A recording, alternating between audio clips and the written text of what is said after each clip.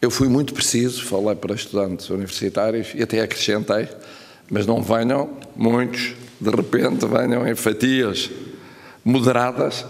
Eu até disse ironicamente, senão cria-se um problema em Portugal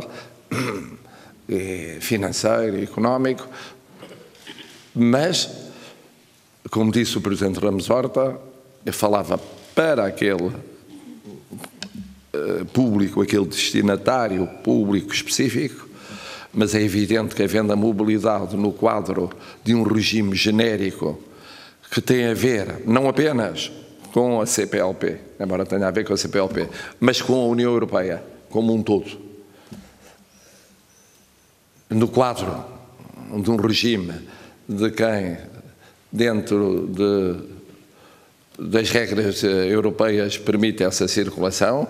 e que é não haver vistos durante X tempo, 90 dias, eh, é evidente que essa mobilidade, isso o Presidente Ramos Horta, eh, e conhecerá melhor do que eu a situação, pode levar a duas coisas. Primeiro, ao exercício da liberdade de movimento. Por outro lado, o que é intolerável é aquilo que já está a ser punido, vai ser punido,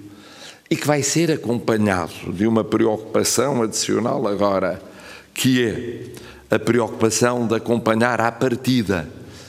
e em cooperação entre as duas entidades. Há elementos qualificados do CEF que se encontram já em Timor-Leste precisamente a ajudar nisso, que é garantir que há, por força mesmo de quadro legal adequado a isso, que há hum, a detecção e a prevenção de esquemas ilícitos e ilegais, travando à partida, porque para serem travados tem que ser à partida, e por outro lado criar condições de formação para a empregabilidade, de colaboração entre os dois países e a entrada, a saída de São, do, do, do Timor-Leste e a entrada em Portugal ser uma entrada e uma saída e uma entrada que eh, estejam muito ligadas à ideia de liberdade de movimentos, sim,